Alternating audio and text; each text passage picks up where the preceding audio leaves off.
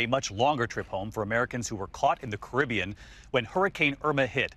In fact, this number tonight, more than 2,000 Americans have now made it out onto U.S. military planes and on private cruise ships as conditions on those islands continue to deteriorate. ABC's David Wright is in San Juan tonight. On some of the hardest hit islands here in the Caribbean, including St. Thomas and St. Martin, destruction is now giving way to despair. Water and food, we don't have that. The U.S. military has been scrambling to help stranded Americans who faced a long wait. Right now is a rescue mission. Lieutenant Colonel Humberto Pabril of the Puerto Rico National Guard has piloted several of the giant C-17s packed with people. When they see the U.S. flag, it's like, we're coming home. In some cases, cruise ships have come to the rescue. Craig Schweiger was stuck on St. Thomas, hoping to get on a ship chartered by Marriott, but his group was turned away.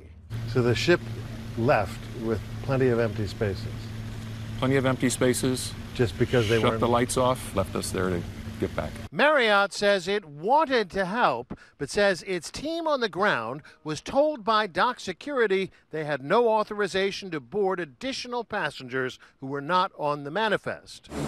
The troops here say the Americans who needed rescue are now safely out, and the focus now turns to the desperate people left behind.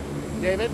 David Wright tonight on the long trip home. David, our thanks to you. Tonight, Irma is officially gone. What's left is rain. But what about Jose? Hard to believe we have to ask this. This hurricane just behind Irma now. Tonight, the track does show it could very well affect the east coast of the United States with, at the very least, very heavy surf. ABC Chief Meteorologist Ginger Zee at the weather wall back in New York tonight. Ginger?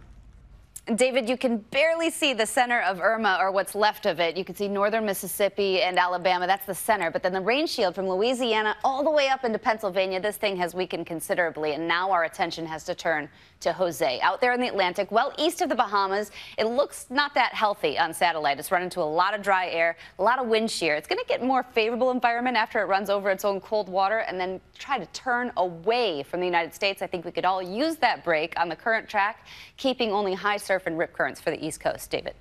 Let's keep Jose out at sea. Ginger Zee, our thanks to you tonight.